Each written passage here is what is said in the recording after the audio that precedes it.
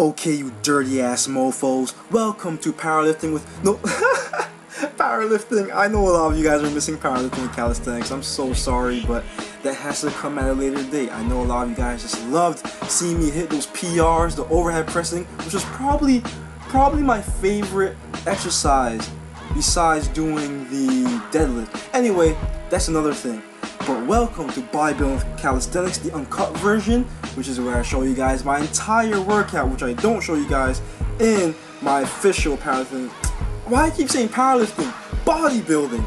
Bodybuilding. Size over strength, bruh. Size over strength.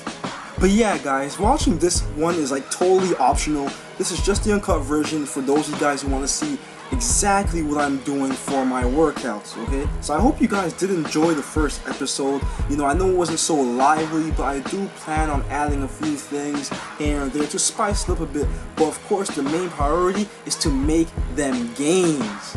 Now, my ninjas, let me just tell you right now that when I woke up today, I was so sore. Like, I swear I felt like I got hit by a truck because a lot of people are saying, yo, there's no way you can bulk with calisthenics. You need to go to the gym. You need dumbbells. You need barbells. Nope, that really is not true. Watch when you see the second set of my push-ups. You will see that I literally failed. Like my muscles literally, literally would not fire off. It's like they were dead. I actually like the feeling though. I like the feeling of my muscles going to failure. Yes, it feels like complete shiz, but at the same time, it's like, damn, like my muscles is really getting in this work. By the way, guys, for those of you guys who haven't realized yet, I'm actually doing push day today. I think I said it at the beginning of the video. No, I didn't.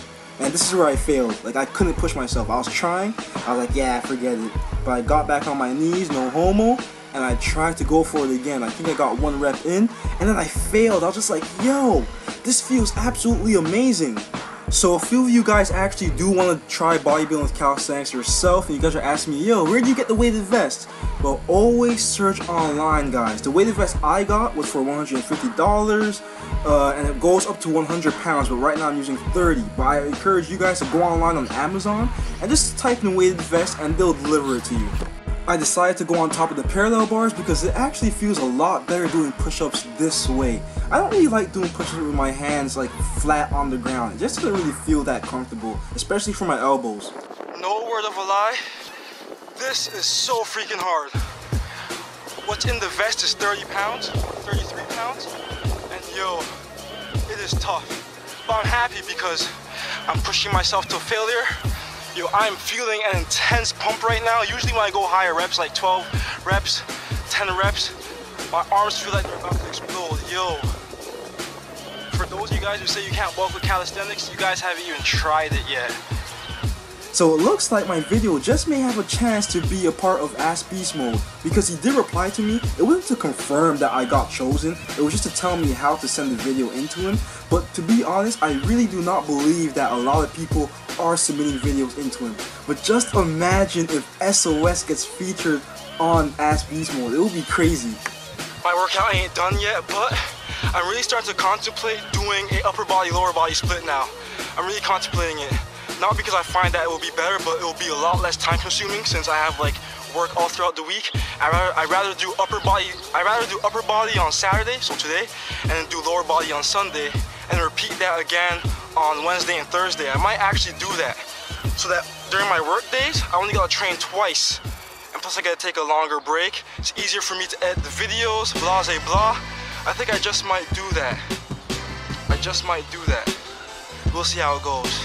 My chest is killing me right now. My arms, my shoulders are killing me even more, but you guys know I want some crazy ass delts, so it's time to do some handstand wall. Yo, I'm flustered right now. It's time to do some wall handstand push-ups. Get those delts coming out. I know, guys, I know. Don't judge me. Don't judge me. I was tired. I couldn't do it. So guys, my shoulders are freaking fried. I can't do the wall handstand push-ups. So I think I'm just gonna do some pike push-ups. These pike push-ups are basically the easiest variation you can do in terms of doing pike slash handstand push-ups or wall handstand push-ups for your anterior delts. So basically, those of you guys who are pretty, you know, advanced or intermediate or whatever, you're not a beginner, I wouldn't recommend that you do these by itself. Like, do these only if your delts are pretty tired. Because after I did my dips and did my push-ups, my delts are tired. So therefore, doing these pike push-ups actually felt pretty intense. Heck, you know what could be a good drop set if you're not so tired? Go on the wall, do your pike push-ups with your feet on the wall, do like 10 reps, and then do 10 reps of these type of pike push-ups. That will kill your shoulders.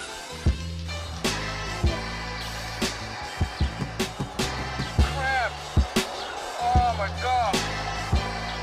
Okay, no more no more pike push-ups for today because I just got a cramp and I'm not trying to risk getting a harder one. So F that. I will try to finish off with some with some overhead pressing with my what is it called? The weight vest. Now at the end of my workouts, I'm basically going to be using my weighted vest as like an alternative to dumbbells or barbells, so I can basically do exercises like this to continue to burn out my muscles. Now whether a lot of you guys want to believe this or not, because I know a lot of you guys love the gym, but just realize that using external weights like dumbbells and barbells is way easier than doing calisthenics because you could actually choose your intensity a lot more than when you're doing calisthenics. Now this is going to sound harsh, but just understand what I'm saying. If you're trying to bodybuild and you're weak, you have to go to the gym.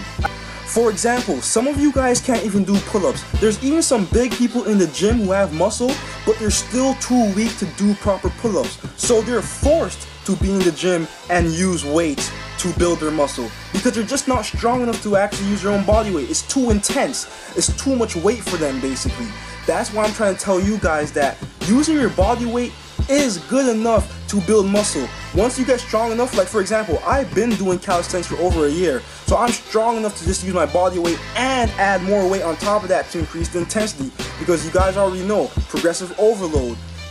People like to call calisthenics hippie shit, but to me personally, the gym is hippie shit because with calisthenics, you either man up and be able to do it, and the gym is well, hey, you have machines, you have weights, and everything you need to make it as easy as possible for you. Okay guys, so that is it for this workout. That was intense. That was crazy. That was a lot. That actually felt kind of good though, even though it was painful. It felt pretty good. But damn, I didn't know it was gonna be that hard.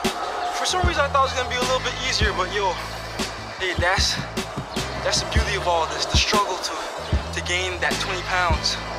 I know my delts are gonna start popping out soon time, oh my goodness. But yeah, uh, next workout is gonna be tomorrow. I think I'm gonna, I'm gonna pair that with back and biceps and legs. I think that's how I'm gonna start doing it. Or I'll probably start doing push day with legs and then do back and biceps on another day. So yeah, talk to y'all next time.